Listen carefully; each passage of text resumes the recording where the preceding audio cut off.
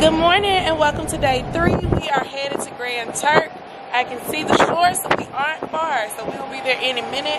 I'm really excited because this is my first time going to Grand Turk and I really don't know what to expect. But I do know that they have beautiful water. So our plan is to go to Jack Shack, which is a restaurant that is on the island. And I really just want to take photos on this beach. So be sure to stay tuned so you can see what I end up doing in Grand Turk. Hey guys, it's Jennifer Danielle, and thank you for tuning in to today's vlog. Be sure to hit that subscribe button if you have not, and share my channel with a friend. Let's get into it.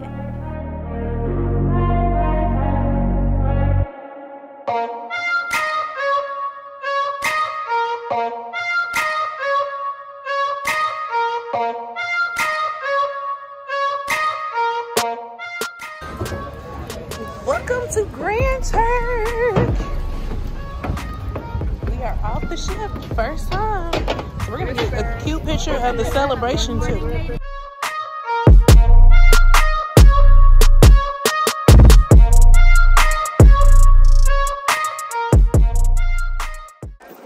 Okay guys, so so far Grand Turk is beautiful. It's giving Amber Cove vibes. And you guys know Amber Cove is my favorite place because I love the way it looks and just the whole vibe once you get off the ship. But this is very similar, which I'm sure you guys will see because we're going to Amber Cove tomorrow. But look what's behind me. The celebration ship. So um, we're just about to get off and just go over here to um, the little port area and just see what there is to do. Probably take a lot of pictures, but it's Grand Turk, baby.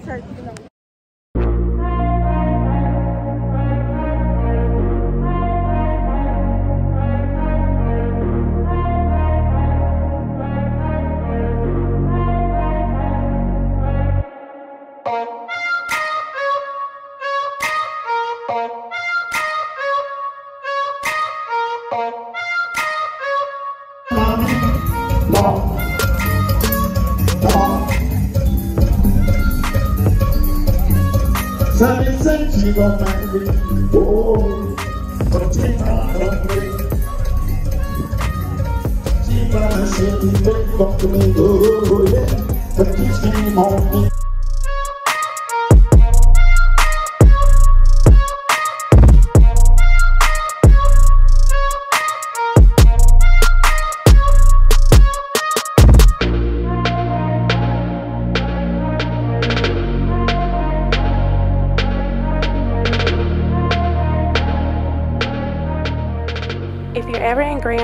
don't forget to get photos here in front of the ship. They make for some of the most beautiful photos available.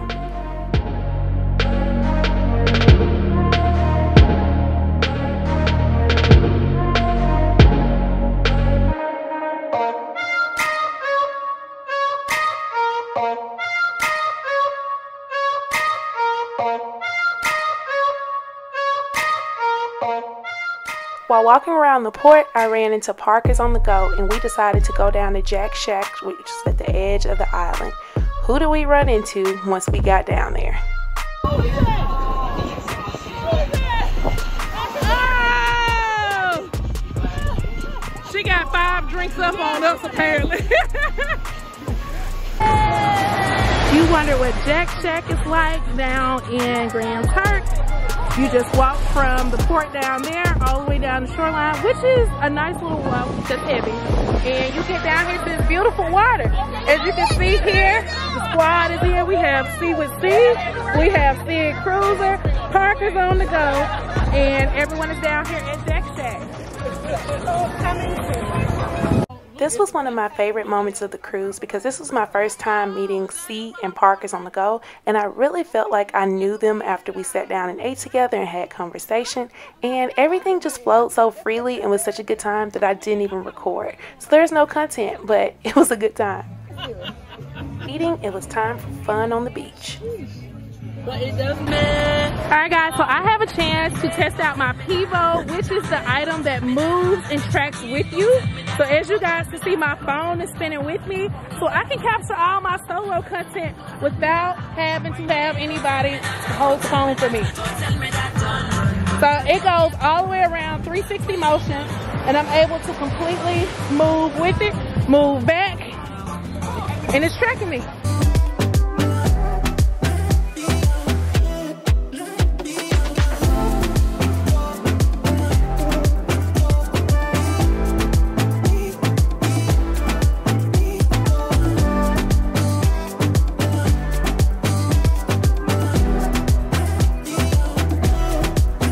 This was the most beautiful water I have ever seen in that it was clear and just a crisp blue. Everything was so serene and felt perfect. It just was a great day.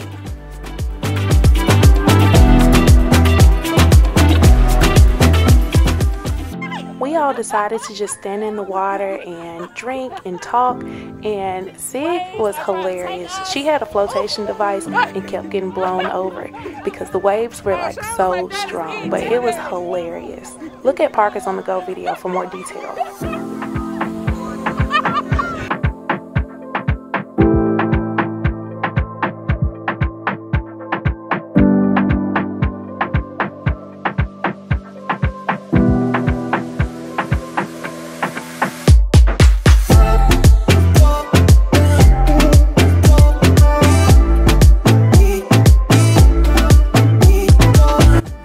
On, we were joined by Fane and Laura from Travel Spree and Vanessa from Vacation Vibes. I don't know how, but Fane and Sid Cruiser decided to do a cartwheel contest, and I don't really know who won officially, but Sig seemed to give a celebratory speech, so maybe it was her. Here's more on that. heel over toe. Okay. And bring it in the knee. Okay.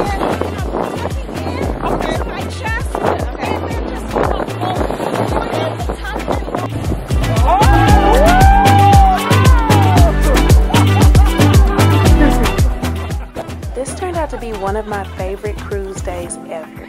Everyone featured here was such a good time and just made the day so special. All right, Grand Turk, we are headed out, and need I say, I have found a new favorite port. I love Grand Turk. I love the access to the beach, the views of the water. It was just a good time. The water felt perfect. Everything was just smooth and easy to get to, and Jack Shack was good too. So, Grand Turk, you are my new favorite port.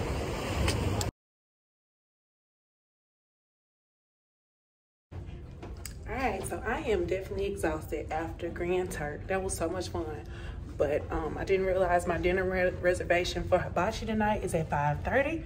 So I pretty much had a little bit of time to get a shower, lay down for a second, not go to sleep, um, but got up. But tonight is white night and I am wearing my outfit from J Lux label. Um, so the good thing is that Hibachi is only a couple floors away. So we just have to go down one to eight. So that is the move for the night. And we'll check back in from Bonsai. This was my third time trying hibachi on the ship, and this is one of my favorite places to eat. It's always good, and the portion size is so big. The great thing about this is that they automatically bring you all of the starters, including the soup, salad, the spicy tuna, the pork thingy. Everything automatically comes, and the only option that you really have to choose is if you want a combo of two meats or if you want one meat for your main entree.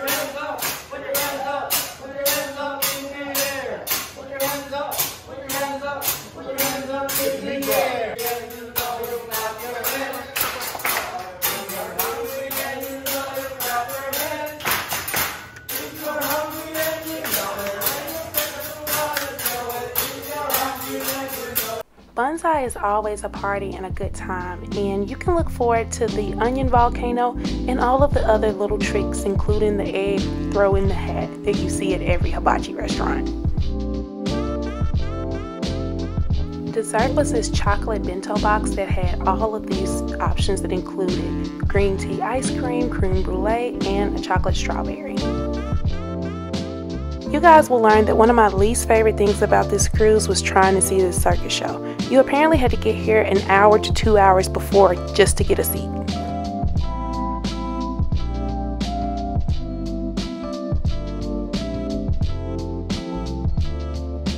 That's it for this episode. Thanks for watching. Be sure to come back next time for a special two part series on my Thanksgiving in Amber Cove.